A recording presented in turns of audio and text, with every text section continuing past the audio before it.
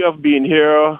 Well, I came. I was called at around 6 p.m. last night with a situation where it was trying to contain the fire from spreading, but that was very difficult because of water pressure. We didn't have a lot of water pressure. Without the water pressure, the trucks don't get enough pressure to push the water as far as you would like it to go. So we went and we um, put in the dumper pump to help contain the fire from spreading to the shrap, the shrap, the shrap, shrap yard where they um, crush the different vehicles because we didn't want there to get um, catch a fire because they have different gasoline, oil, and all those type of um, um, fossil um, stuff there. And at the moment, we are we, we are containing it from spreading. One area we have to leave, we have left burned out because we have shortage of personnel, fatigue, and those things. But the most important thing is to contain it from spreading to the junkyard. And that's what we are busy with now. But we still have an issue with water pressure. And yeah, there's not much that can be done about that because GB lost a couple of its tanks during Irma. So that's still a problem. Remain a problem for some time. But we're doing the best we can with the tools that we have at the moment. Understand from the Prime Minister earlier this morning there is a collaborative effort between yourself and the French side. Can you confirm? Well, we were looking into requesting assistance from the French side, but then you still come up with a problem pertaining to water because they would also have to go to refill the trucks and that would take time. So we are looking at a moment to see how best we can before we request their permission if it will be conducive to do so. Because if we request their permission, then we have them here. But if they can't get water also, then it doesn't really make any sense at the moment. So we are looking into how best we can go about that right now. I was discussing it with my team, and we're still busy looking into that. Fire but Chief. Will, yes, go ahead. I'm sorry. No, but we will we will be on contact the French side to ask them if necessary, to assist us. Because right now we have water trucks that we have that we receive from um, Netherlands during Irma that we have pendling water. But because of the low water pressure, it takes longer to fill them and to return to the scene. So that would also generate a, a problem if you have more trucks sucking water. It also slows down the process of filling the trucks.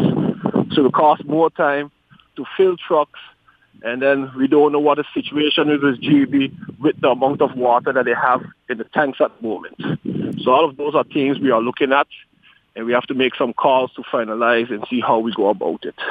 Okay, so from the for the for the last twenty less than twenty four hours that you've been dealing with the situation, um, have you seen some type of progress in dealing with the fire itself? Well, yes, we okay. have seen a lot of progress because the amount of the, the sea of the sea of fire that we had last night when I left. Well, I left around two thirty this morning, and, um, and the, the amount of um, fire that was there at that time has been cut down, mm-hmm. has been um, has dropped back. Mm-hmm. So we have a lot of smoke now because of the certain areas that are burning out. And then on a far distance close to the pond where it's very difficult for us to get, there is also burning, but that can't really go anywhere where it's um, will cause harm to any buildings or also. So we are leaving that right now and focusing on the area where we have the cars, where they have they crush the metal, the cars, and those things. Um, just uh, it would be remiss of me not to ask this question. Um, but has it been identified what started it? No, that has not been identified as yet. Um, and that is um, that will have to be an investigation. Will have to be done by the police force because they have the trained personnel. They have the investigative department for that, and they're the ones that are authorized to carry out those type of investigations. Do you have any idea what could possibly be fueling it, um, or could have fueled it from yesterday?